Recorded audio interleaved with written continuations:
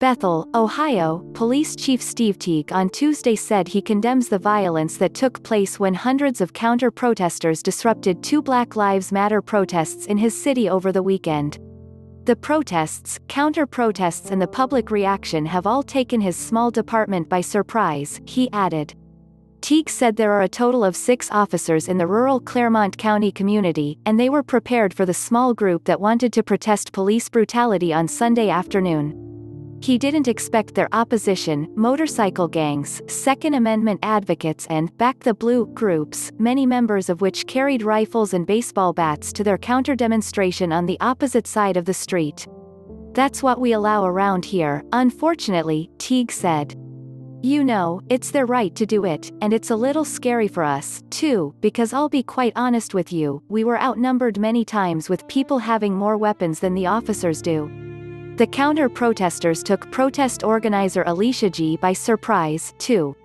Sunday's Black Lives Matter rally had been her idea. It was to help our community build a more equitable community, Gee said.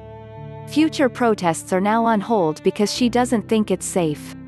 We already saw the violence, and we experienced the violence against ourselves on Sunday, Gee said. We didn't need that, and I don't want anyone else to have to experience that. Demonstrators asked Bethel City Council and officials to condemn the violence they experienced over the weekend. Bethel Mayor Jay Noble said he has done so. When it comes to the violence part and breaking the laws, I do condemn, Noble said. Teague said his department is also dealing with the aftermath of a viral video showing an assault as an officer stood by.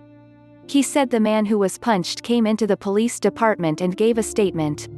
He said the officer was distracted, looking to the side, and he even confirmed the officer's statement of what happened, Teague said. He said once the other man in the video is identified, he will face an assault charge. Teague stands by his officer's actions. The officer did take the appropriate action, Teague said. I interviewed him at length. After the officer was notified that he had been struck, he was removed from the scene for further investigation, check for medical clearance, which he refused at the time. Gee said the town just isn't ready for more demonstrations. Even though we illuminated the division that was already there, furthering that division with protests or demonstrations or more people coming to our community is just going to further the divide, Gee said. Copyright 2020 Scripps Media, Inc. All rights reserved. This material may not be published, broadcast, rewritten, or redistributed.